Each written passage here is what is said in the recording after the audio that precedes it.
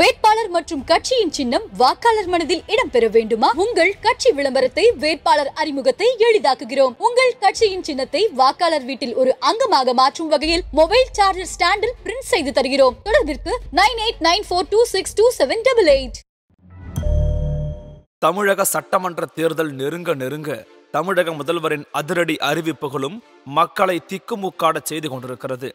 தேர்தல் நேரத்தில் திமுகவும் அதிமுகவும் போட்டி போட்டுக்கொண்டு பரப்புரையில் ஈடுபட்டிருந்தாலும் முதலமைச்சர் எடப்பாடி பழனிசாமி அறிவிக்கும் சட்டங்கள் மேற்கொள்ளும் நடவடிக்கைகள் பொதுமக்களிடையே நல்ல வரவேற்பினை பெற்று வருகின்றன.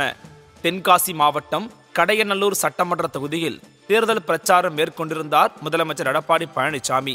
அப்போது அவர் குடியுரிமை திருத்தச் சட்டம் தொடர்பாக போராட்டத்தில் ஈடுபட்டவர்கள் மீது பதியப்பட்ட வழக்குகள் ஊரடங்கை மீறியதாக பதிவு செய்யப்பட்ட வழக்குகள் என்று அனைத்தையும் ரத்து செய்வதாக அறிவித்து சிறுபான்மையினரை மகிழ்ச்சியில் ஆழ்த்தினார். கடந்த இரண்டாயிரத்தி பத்தொன்பதாம் ஆண்டு மத்திய அரசு குடியுரிமை திருத்தச் சட்டத்தை கொண்டு வந்தது. இந்த சட்டம் அண்டை நாடுகளான பாகிஸ்தான் வங்கதேசம் ஆப்கானிஸ்தானைச் சேர்ந்த இந்துக்கள் சீக்கியர்கள் பௌத்தர்கள் சமணர்கள் பார்சி இனத்தவர் கிறிஸ்தவர்கள் ஆகியோருக்கு உரிய ஆவணங்கள் எதுவும் இல்லை என்றாலும் இந்தியாவில் குறைந்தது ஆறு ஆண்டுகள் வசித்தாலே அவர்களுக்கு இந்திய குடியுரிமை வழங்கலாம் என்று திருத்தப்பட்டது. மேலும் இரண்டாயிரத்தி பதினான்காம் ஆண்டு டிசம்பர் மாதம் முப்பத்தி ஓராம் தேதிக்கு முன் குடியேறியவர்களுக்கு இந்திய குடியுரிமை வழங்கலாம் என்றும் இந்த மசோதாவில் கூறப்பட்டிருந்தது. இந்த சட்டத்தில் முஸ்லிம்கள் சேர்க்கப்படவில்லை. அரசு மத ரீதியிலான பாகுபாடு காட்டுகிறது. இது நம் நாட்டில் சட்ட விரோதமாக குடியேறியவர்களுக்கு அங்கீகாரம் வழங்குகிறது என்பதாக கூறி நாடு முழுவதும் எதிர்க்கட்சிகள் இஸ்லாமியர்கள் போராட்டங்களை நடத்தினர். தமிழகத்திலும் பல்வேறு இடங்களில் போராட்டங்கள் வெடித்தன. இந்த போராட்டத்தில் ஈடுபட்டதாக கூறி ஆயிரக்கணக்கானோர் மீது வழக்குகள் பதிவு செய்யப்பட்டன.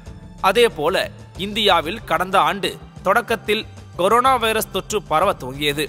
இதையடுத்து மத்திய அரசு இரண்டாயிரத்தி இருபதாம் ஆண்டு மார்ச் இருபத்தி நான்காம் தேதியன்று நாடு முழுவதும் இருபத்தி ஓரு நாள் ஊரடங்கு உத்தரவு பிறப்பித்தது.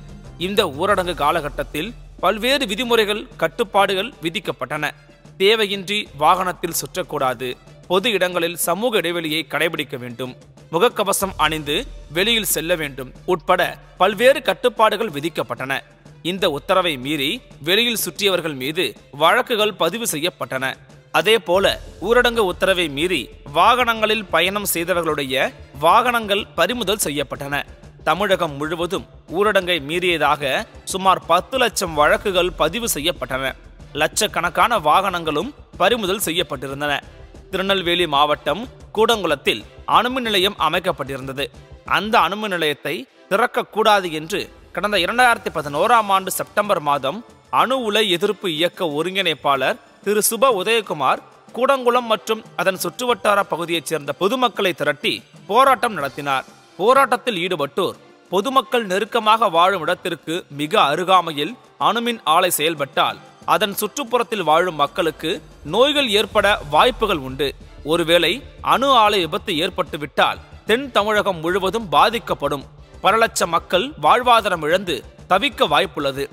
தொழில்நுட்பத்தில் உயர்ந்த நிலையில் உள்ள பல நாடுகள் அணுமின் நிலையங்கள் அமைப்பதை கைவிட்டு வருகின்றன.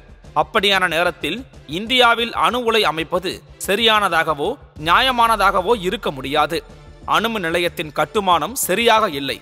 அதன் கழிவுகள் வெளியேற்றப்பட்டால் கடல் நீர் மாசுபட்டு மீன்கள் போன்ற கடல்வாழ் உயிரினங்கள் இறக்கும். சுற்றுச்சூழல் பாதிப்படையும். கடற்கரைக்கு அருகில் இருப்பதால் அணு உலையானது சுனாமி போன்ற இயற்கை சீற்றத்தால் பாதிக்கப்பட வாய்ப்புள்ளது. தீவிரவாதிகளால் பாதிப்புக்குள்ளாகும் அபாயமும் அதிகமாக இருக்கிறது.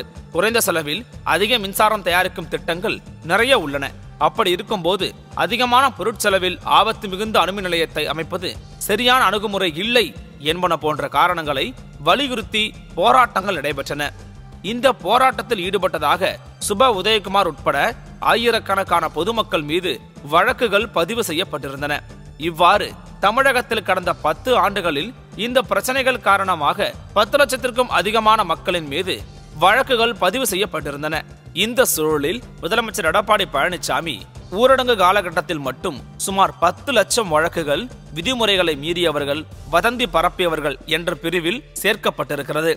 இந்த வழக்குகளில் வன்முறையில் ஈடுபட்டு குறிப்பிட்ட குற்றங்களுக்காக பதிவு செய்யப்பட்ட வழக்குகள் முறைகேடான வழிகளில் இ பாஸ் பெற்று பயன்படுத்தியவர்கள் மீது பதியப்பட்ட வழக்குகள் ஊரடங்கு காலத்தில் காவல்துறையினரை பணி செய்ய விடாமல் தடுத்தது தொடர்பாக பதிவு செய்யப்பட்ட வழக்குகள் ஆகியவற்றை தவிர மற்ற அனைத்து வழக்குகளும் பொதுமக்களின் நலன் கருதி ரத்து செய்யப்படுகிறது. அதேபோல மத்திய அரசால் கொண்டுவரப்பட்ட குடியுரிமை திருத்தச் சட்டத்திற்கு எதிராக தமிழகம் முழுவதும் நடந்த போராட்டங்கள் தொடர்பாக பதிவு செய்யப்பட்ட வழக்குகள் ரத்து செய்யப்படுகிறது. குடியுரிமை திருத்தச் சட்டத்திற்கு எதிரான இந்த போராட்டங்களின் போது தடையை மீறி பொதுமக்களுக்கு இடையூறு ஏற்படுத்தும் வகையில் போராட்டங்களில் ஈடுபட்டவர்கள் பொது சொத்துகளுக்கு சேதம் விளைவித்ததற்காக வழக்கு பதிவு செய்யப்பட்டவர்கள் காவல்துறையினரை பணி செய்ய விடாமல் தடுத்தவர்கள் மீது பதியப்பட்ட வழக்குகள் தவிர்த்து மற்ற அனைத்து வழக்குகளும் ரத்து செய்யப்படும் என்று அறிவித்தார். இது மட்டுமில்லாமல் கூடங்குளம் அணுமின் நிலையம் அமைப்பதற்கு எதிராக நடந்த போராட்டங்கள் தொடர்பாக பதிவு செய்யப்பட்ட வழக்குகளை ரத்து செய்வது குறித்து கூடிய விரைவில் பரிசீலனை செய்து முடிவு செய்யப்படும் என்றும் அறிவித்திருக்கிறார். நீண்ட காலமாக சிறு சிறு தவறுகளுக்காக வழக்கு பதியப்பட்டு நீதிமன்றத்துக்கும் காவல் நிலையங்களுக்கும் அலைந்து கொண்டிருக்கும் மக்களுக்கு விடுவு காலம் பிறந்துள்ளது என்று மக்கள் முதலமைச்சருக்கு பாராட்டுகளை தெரிவித்து வருகின்றார்கள்.